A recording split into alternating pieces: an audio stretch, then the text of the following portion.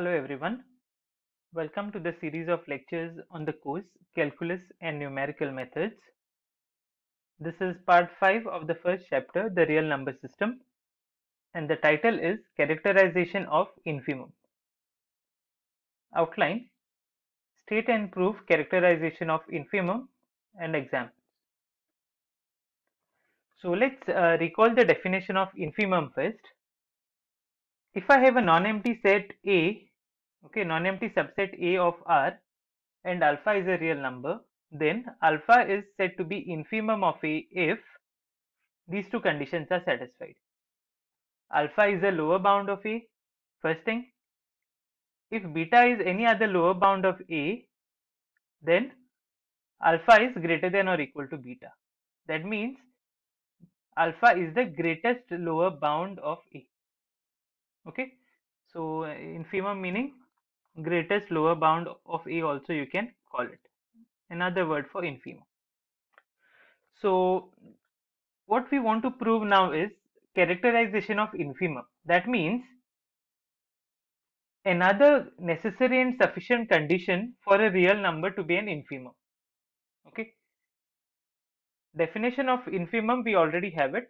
So now we are going to prove one more necessary and sufficient condition, if and only if condition for a real number to be an infimum of a given subset of R. Okay.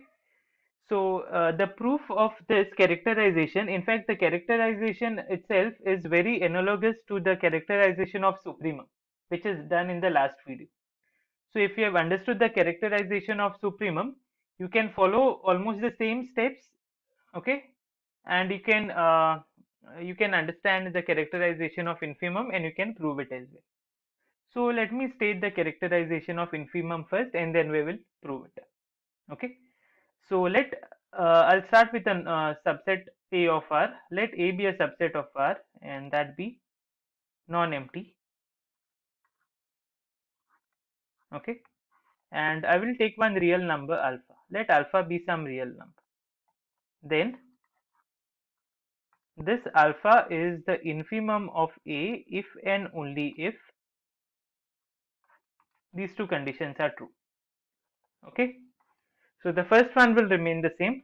Alpha is a lower bound of A. Alpha is a lower bound. Alpha is the lower bound of the set A. The set A is the uh, non-empty subset A that I have started with here. Okay. And the second condition is if I take any other real number beta which is greater than alpha. Okay then there exists a point x in A such that x is less than beta. So basically what it says is the meaning idea if you uh, think for a while you will realize that the second condition is same almost the same as the second condition here just framed in a different way okay so what this says if you take any real number beta which is greater than alpha then you can find a point in A which is less than beta. That means beta will not be a lower bound and alpha is the greatest lower bound. Any other number which is greater than alpha cannot be a lower bound.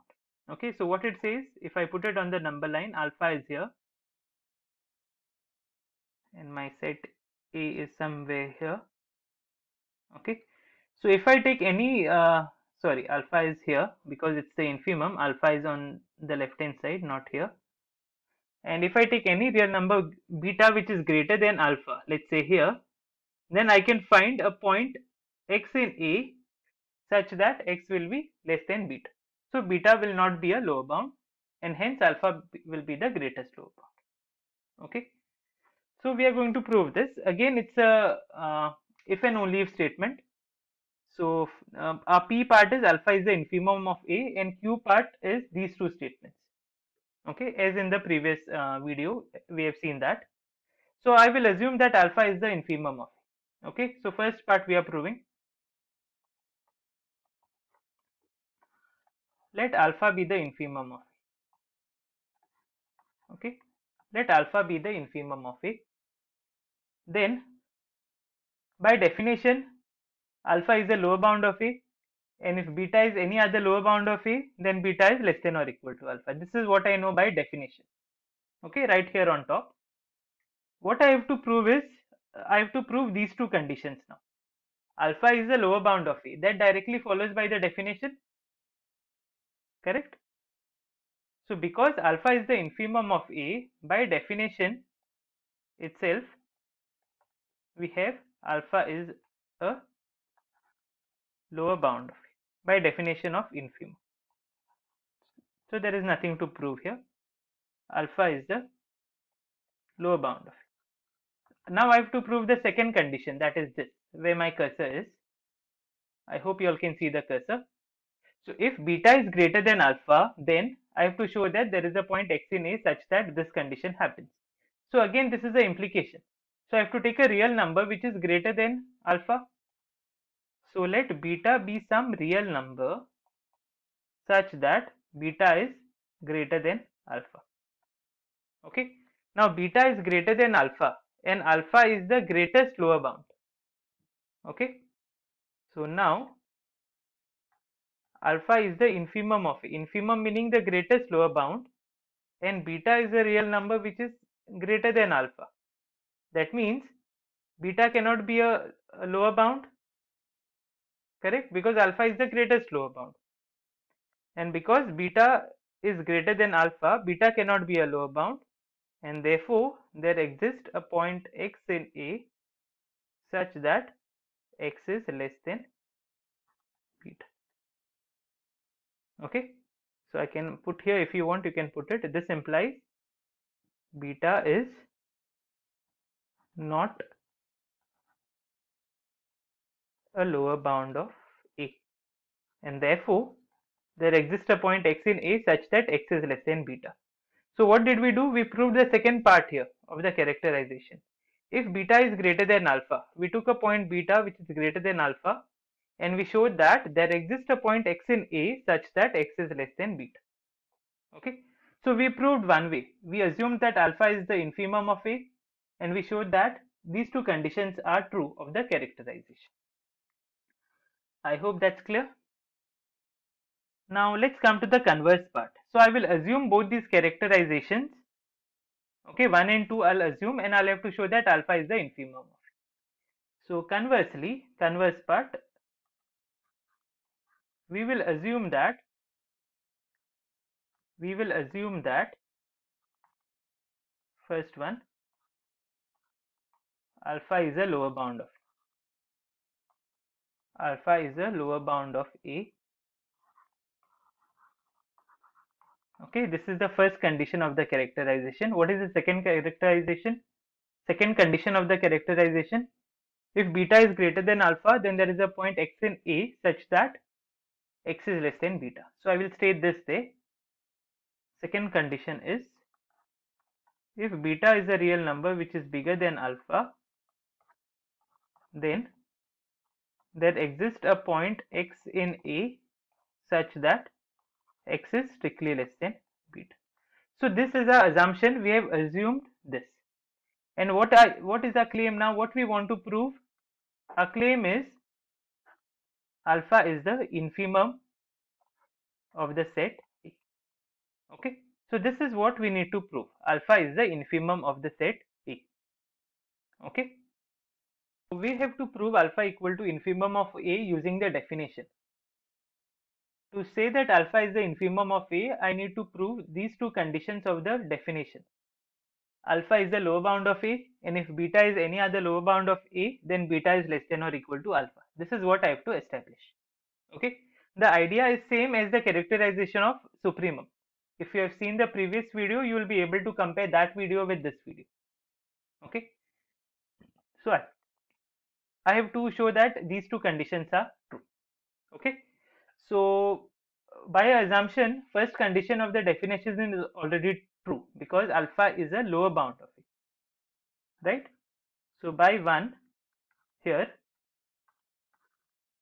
alpha is a, I'll just erase this, alpha is a lower bound of A. Okay, so the first condition is satisfied. I want to prove now what? The second condition of the definition. So I will have to start with any other lower bound beta and I'll have to show that beta is less than or equal to alpha. So let me start with any other lower bound. Let beta be any lower bound of A. Let beta be any lower bound of. Okay, and now we have to show that beta is less than or equal to alpha. This is what we need to establish. Beta is less than or equal to alpha. Right? Here, where my cursor is, this condition we need to establish. Again, uh, law of trichotomy will come to our help. We will go by contradiction. So this proof will be by contradiction. Proof by contradiction. So whatever I have to prove, I will assume that it is false. So supposing beta is not less than or equal to alpha, then the only choice by law of trichotomy is that beta is greater than alpha. So that is what we are assuming. So let if possible, let if possible, beta be strictly greater than alpha. If beta is strictly greater than alpha, we will have to arrive at a contradiction. And hence our assumption is false and beta will be less than or equal to alpha. Okay? Now if you see our assumption the second part of our assumption what it says if you take a real number beta which is greater than alpha then there is a point x in a such that x is less than beta. That's our assumption. The second step here we have assumed that. And now I have a point beta which is greater than alpha. Therefore by the statement 2 above by the statement 2 above, there exists a point x in A such that x is less than beta. It is coming by this assumption here. What I am underlining, it is coming by that. Right? So that's a contradiction. Why this is a contradiction? Because we we had chosen beta to be a lower bound of A and I already have produced one point x in A such that x is less than beta. Okay, so that's uh, a contradiction to the fact that beta is a lower bound. Why we are getting this contradiction? Because I assume beta is greater than alpha. So beta cannot be greater than alpha in any case and hence beta will be less than or equal to alpha. So beta is less than or equal to alpha. So if you choose any uh, beta which is a lower bound of a then beta will be less than or equal to alpha right? So we have proved the second condition of the definition. If beta is a lower bound of a then beta is less than or equal to alpha. So we show that the definition of infimum works and therefore alpha is the infimum of a. And this completes the proof of the characterization. All right now, uh, there is another way of uh, stating this uh, characterization of infimum. Okay. Uh, if you all remember in the last video, we had restated uh, the characterization of supremum again in terms of uh, epsilon. Any positive epsilon you can use and you can restate this characterization. Right. So, same thing I'll state for this also. So, I will put it as a remark. So uh, what this characterization says, alpha must be a lower bound, first condition, alpha must be a lower bound.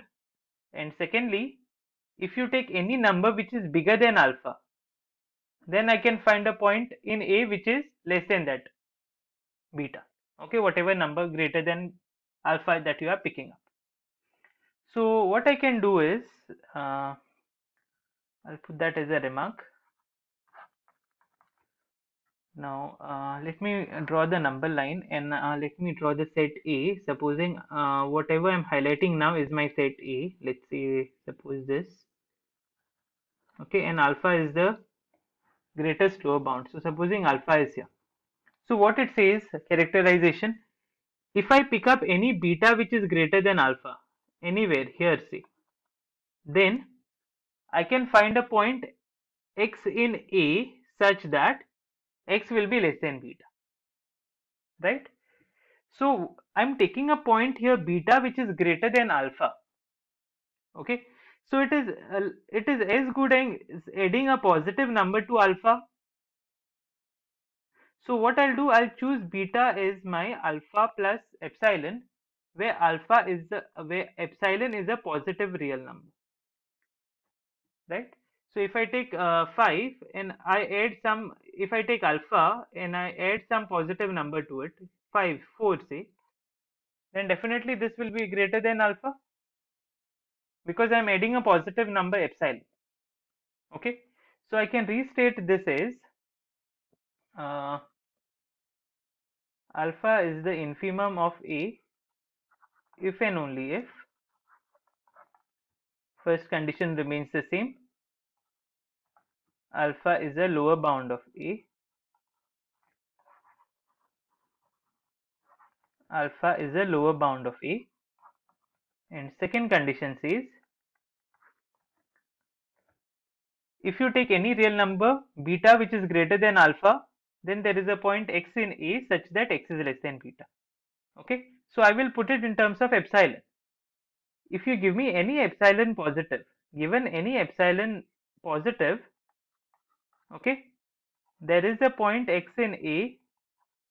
There is a point x in A such that that x will be less than beta. But now beta is nothing but alpha plus epsilon. So there exists a point x in A such that x is less than alpha plus epsilon. And I can do it for any epsilon positive no matter what that epsilon is. Alright so given any epsilon positive there exists a point x in A such that x is less than alpha plus epsilon. So this is uh, another way to state the characterization. Okay, I hope the things are clear. And these are my references. Thank you.